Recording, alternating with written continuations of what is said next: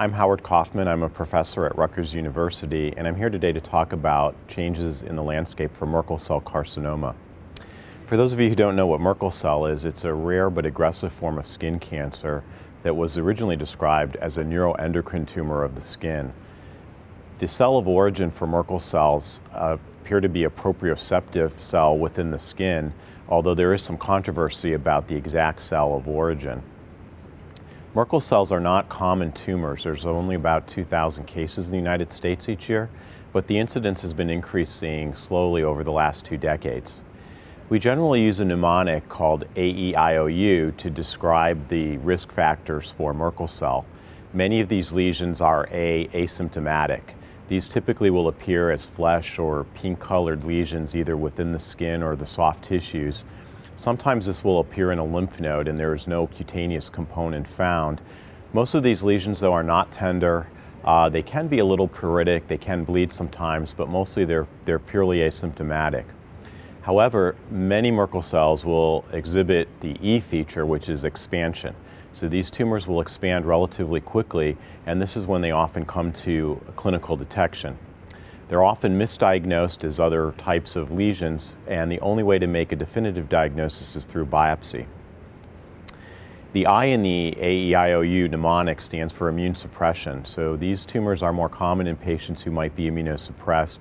For example, transplant patients need to be watched a bit more closely for the development of Merkel cell. Uh, the O stands for older. Most of these tumors will occur in, in, patients over the age of 50, although there have been reports of Merkel cell in children and adolescents, so it, it can occur in that age range. But the typical presentation is, is in the elderly population. And the U stands for ultraviolet exposure. So sun exposure is clearly related to uh, the development of Merkel cell carcinomas. In the early stage, we typically will treat, uh, treat Merkel cell similar to melanoma in that we will do a wide local excision with the sentinel node biopsy and for advanced tumors, we'll add in adjuvant radiation to the tumor bed or the lymph node basin. Once the disease becomes metastatic, it can be a real problem, and the typical life expectancy historically for metastatic Merkel cell has generally been less than one year.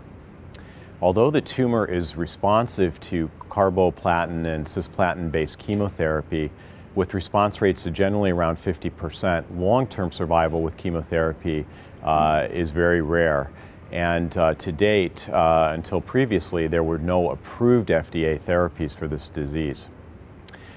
Recently, there is a new approval, and this was based on the Javelin Merkel 200 clinical trial. This was a study which targeted a molecule called programmed cell death ligand 1 or PDL1. So PDL1 is a molecule that is expressed by some tumor cells and we've seen it in a, almost all Merkel cell uh, tumor microenvironments, sometimes on the tumor cells themselves and sometimes on the infiltrating macrophages and other cells uh, that can be in the tumor microenvironment. What PDL1 does is it binds to its ligand, which is called PD1, on the surface of T cells, and it tends to kill the T cells. So if the immune system can respond to the Merkel cell, uh, PDL1 provides a mechanism to allow the tumor to keep growing and to avoid immune detection. So an antibody that targets the PDL1 called avelumab was developed and was tested in patients who had chemotherapy refractory metastatic Merkel cell carcinoma. 88 patients were enrolled in this study, and overall there was a 33% objective response rate. And 74% of the patients who had responses remained in response uh, for more than six months. Based on this data and the lack of effective therapies for this disease, avelumab was approved by the FDA in March of 2017. The Javelin study has now been extended to look at patients who have chemotherapy naive disease. And these patients are now being enrolled in an ongoing clinical trial. A few of the patients uh, have been enrolled, and some of the early data is actually being reported at ASCO in 2017. And it looks like the response rate in the small cohort of patients is 62.5 percent. And this is similar to data that was reported in a study of pembrolizumab, which is an antibody that targets the PD-1 receptor, in which a 56% response rate was seen in patients who had metastatic Merkel cell who had not yet received chemotherapy. These data are really changing the clinical uh, paradigm for Merkel cell carcinoma, and it seems that patients um, who have Merkel cell in the metastatic setting should get access to uh, one of the PD-1 or PD-L1 therapies. Avelumab right now is the only one that is approved by the FDA, and this approval includes patients who have had previous chemotherapy and those patients who have not had chemotherapy yet.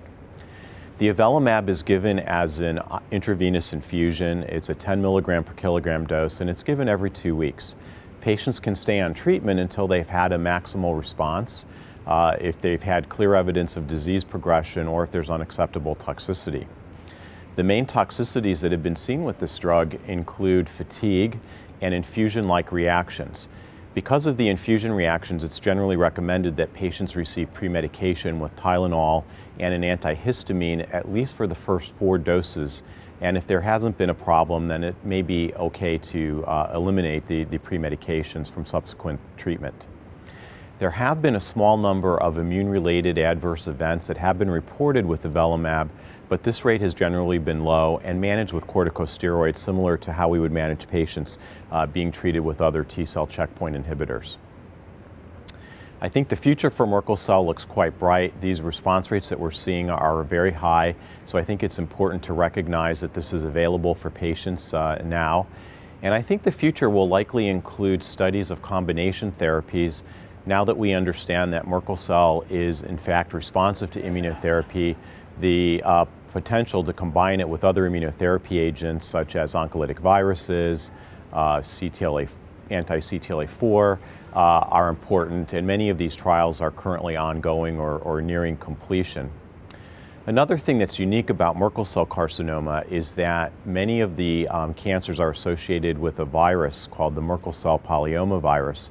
And in the Javelin trial, although we looked for the Merkel cell uh, virus status, it had no correlation with response, suggesting that although this is an interesting feature of the, of the tumor, it doesn't necessarily have any implication for likelihood of response. There are studies that are looking at vaccines or adoptive T cells that are targeting the polyoma virus, and these uh, remain experimental but may be of interest uh, in the future. So in summary, Merkel cell carcinoma is a rare but aggressive form of skin cancer. In patients who develop metastatic disease, avelumab is now approved by the FDA for treatment in both first and second line therapy. It, treatment is generally well tolerated and uh, future studies will likely include combinations and avelumab will likely be tested in the adjuvant setting. I thank you for your attention.